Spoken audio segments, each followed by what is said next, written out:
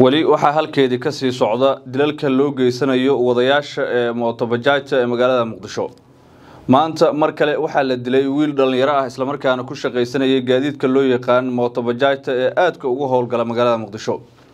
Askar ku sugnayd isgoyska loo yaqaan miisaanka dhuxusha degmada yaaqshiid ee magaalada muqdisho ayaa rasaas kala dhacay madaxa isla goobta ayuuna ku geeriyooday sida dadka deegaanka oo aan la hadalnay ay noo sheegeen wiilkan dhallinyaro ayuu ahaa wuxuuna ku shaqaysanayay gaadiidka bajaajta waxaana dilay askar ka tirsan ciidamada dowladdu.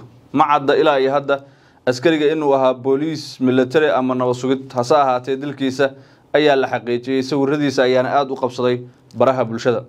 Waxaa xihan waddada xidhiidhisa hotel towfiiq iyo miisaanka dhuxusha sababo lagu sheegay in dhismo uu ka socdo wadadaasi dhagxaan ayaana ku jiran balse maalmaha munaasabada ciidda oo shalay iyo maanta ah ayaa dhagxaantaasi laga qaaday. Muran dhankaasi ka dhashay in uu jiray iyo in kale ayaan sacadayn waxaase la xaqiijiyey in askarigan uu dilay wiilkan bajaajlaha ahaa. Mana aha markii ugu horreysay ee sidaan oo kale ay dhacdo.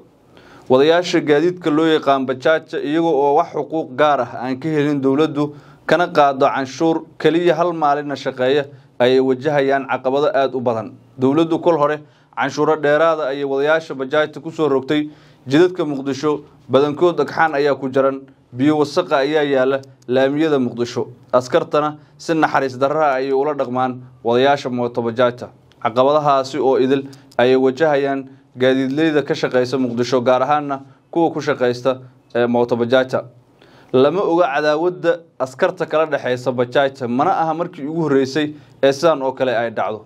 Weli ma dhicin maxkamadaha dalka in la soo taagay askari ku eedeysan dilka bajaajle boqolaal bajaajle ayaana la dilay shantii sane ee u dambeysay. Wiilkan dhallinyarada ah ee hadda lagu dilay miisaanka dhuxusha ilaa iyo hadda lama garan ee reerkiisa ayaana lagu baadigoobayaa sawiradiisa lama ogolo in halkan aan ku baahino hase ahaatee qaybta telegaraamka cab t v ayaan soo gelin doonaa. Wararka warbixinada waraysyada iyo falanqaynta kaab somaali t v. Waxaad kala socon kartaa baraheenna bulshada facebook twitter instagram tigtok youtube. Ama ku soo biir barteenna telegram ee kaab somaali t haddii aad hayso talo ama tusaale ama aad doonayso inaad nala wadaagto aragtidaada waxaad inoogu soo diri kartaa whatsapp lambarka shaashadda kaaga muuqda ama imailka info at cab t com. Sidoo kale si fudud u booqo kadibna rukumo websaytekeenna www cab t v com si aad ugala socoto warbixinada soomaali iyo ingilish labaduba. Cab t v waa kaabaha bulshadeenna